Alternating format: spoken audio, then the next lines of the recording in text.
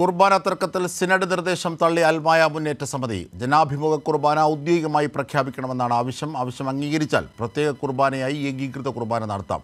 Synod തീരുമാനം പുനഃപരിശോധിച്ചില്ലെങ്കിൽ വത്തിക്കാനെ സമീപിക്കുമെന്നും റിജു കാഞ്ഞുക്കാരൻ പറഞ്ഞു.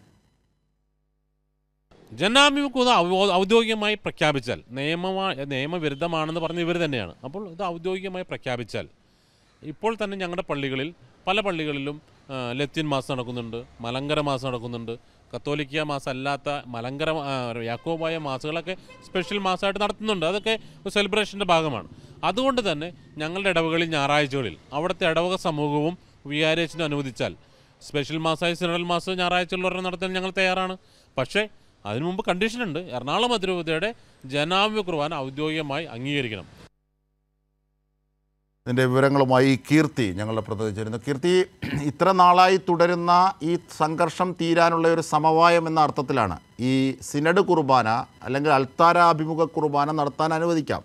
പക്ഷേ ജനാഭിമുഖ കുർബാന ഔദ്യോഗികമായി പ്രഖ്യാപിക്കണം. ഇപ്പോൾ നിയമവിരുദ്ധമാണ് എന്ന് പറഞ്ഞ് അവരെ കൊണ്ട് തന്നെ അത് ഔദ്യോഗികമായി പ്രഖ്യാപിക്കണം. ഇത് അൽമായർ എന്ന് പറയുമ്പോൾ വിശ്വാസികൾ സാധാരണക്കാർ ആ സഭയിൽ അവരുടെ മുന്നേറ്റമാണ് ഇത്തരത്തിലൊരു ആവശ്യം മുമ്പോട്ട് വച്ചിരിക്കുന്നത്. എന്തൊക്കെയാണ് വിവരങ്ങൾ?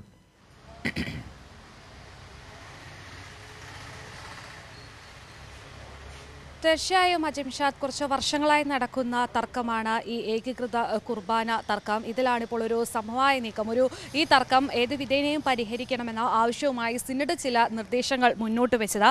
ഞായറാഴ്ചകൾ നടക്കുന്ന രണ്ട് കുർബാനകളിൽ ഒന്ന് ജനാഭിമുഖ കുർബാനയായും മറ്റൊന്ന് ഏകീകൃത കുർബാനയായും നടത്താനായിരുന്നു സിനഡ് അത്തരം നീക്കങ്ങളായിരുന്നു നടത്തി വന്നിരുന്നത്. എന്നാൽ അതിന് വത്തിക്കാന്റെ അംഗീകാരം ലഭിച്ചാൽ മാത്രമേ ഇവർക്ക് ഇത് വിശ്വാസികളോട് ഇത് പറയാൻ സാധിക്കുകയുള്ളൂ. എന്നാൽ ഈ സിനഡിന്റെ ഇത്തരം നിർദ്ദേശങ്ങളെല്ലാം തന്നെ തള്ളിക്കൊണ്ടാണ് ഇപ്പോൾ അൽമായ മുന്നേറ്റ സമിതി രംഗത്ത് വന്നിരിക്കുന്നത്. ഈ ഇളവുകളോടെയുള്ള ഈ ഒരു കുർബാന നിർദ്ദേശം ഇത് ഒരു തരത്തിലും അംഗീകരിക്കാൻ കഴിയില്ല എന്നാണ് ഇവർ പറയുന്നത്.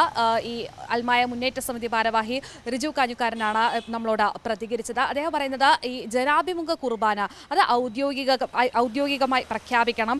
അങ്ങനെ അവരുടെ ആവശ്യം അംഗീകരിച്ചാൽ ഈ സ്പെഷ്യൽ കുർബാനയായി പ്രത്യേക കുർബാനയായി ഈ ഏകീകൃത കുർബാന നടത്താൻ ഇവർ തയ്യാറാണ് എന്നാണ് പറയുന്നത്. അദ്ദേഹം അതിന്റെ കാര്യങ്ങളാണ് കൂടുതലായി തന്നെ പറഞ്ഞു വന്നിരുന്നത്. സിനഡിന്റെ ഇത്തരം നിർദ്ദേശങ്ങൾ അംഗീകരിക്കാൻ സാധിക്കില്ല. സിനഡ് ചില രാഷ്ട്രീയ ലക്ഷ്യത്തോടു കൂടിയാണ് ഇത്തരം നിർദ്ദേശങ്ങൾ മുന്നോട്ട് വയ്ക്കുന്നതെന്നും ഇതിലൊരു അജണ്ട നിലനിൽക്കുന്നുണ്ട്. ഒരു ഹിഡൻ അജണ്ട എന്നൊരു പ്രയോഗം തന്നെയാണ് അദ്ദേഹം പറഞ്ഞത്. ഒരു ഹിഡൻ അജണ്ട ഇതിൽ നിലനിൽക്കുന്നുണ്ടെന്നാണ് അദ്ദേഹം പറഞ്ഞത്. മറ്റൊരു കാര്യം ഇവർ ഈ സിനഡ് ഇത്തരം നീക്കങ്ങളുമായി മുന്നോട്ട് പോകാൻ തന്നെയാണ് തീരുമാനമെങ്കിൽ ഈ ഒരു തീരുമാനം ഇവർ പുനഃപരിശോധിച്ചില്ല എങ്കിൽ ഇവർ മാർപ്പാപ്പയ്ക്ക് കീഴിൽ സ്വതന്ത്രമായി നിലകൊള്ളാൻ തയ്യാറാണെന്നും അവർ പറയുകയുണ്ടായി. അതിൽ അദ്ദേഹം ഉദ്ദേശിച്ചത് സ്വതന്ത്ര സഭയായി മാറാനായിരിക്കും ഇവർ ആലോചിക്കുക എന്നാണ്.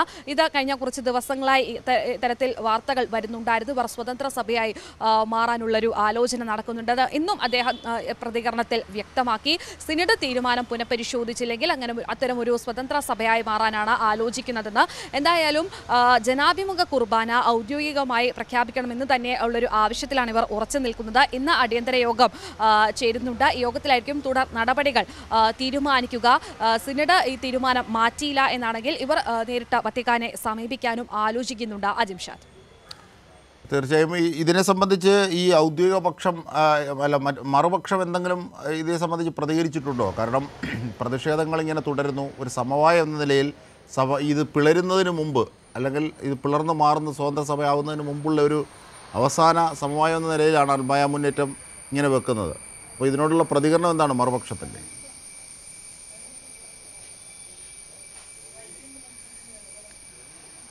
അജിംഷദ് കഴിഞ്ഞ ദിവസം രാത്രിയാണ് സിനഡിന്റെ ഭാഗത്തു നിന്നും ഇത്തരം ഒരു തീരുമാനം സമവായത്തിന് വേണ്ടിയിട്ടുള്ള നിർദ്ദേശങ്ങൾ മുന്നോട്ട് വെച്ചത്. അതിലൊന്നാണ് ഈ ഞായറാഴ്ചകളിൽ നടക്കുന്ന രണ്ട് കുർബാനകളിൽ ഒന്ന് ജനാഭിമുഖമായും മറ്റൊന്ന് ഏകീകൃത കുർബാനയും നടത്താൻ ഇവർ ആലോചിക്കുന്നത്.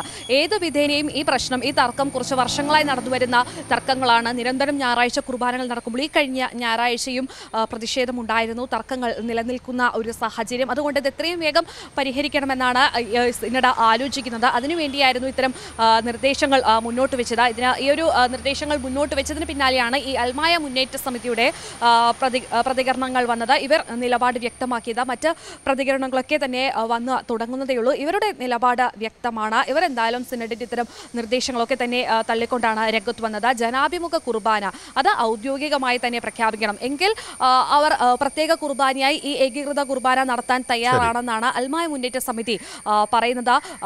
മറ്റ് പ്രതികരണങ്ങളൊക്കെ തന്നെ വന്നുകൊണ്ടിരിക്കുന്നതേ ഉള്ളൂ. തീർച്ചയായും കീർത്തി കീർത്തിയാണ് വിവരങ്ങൾ വിശദാംശങ്ങൾ നൽകിയത്.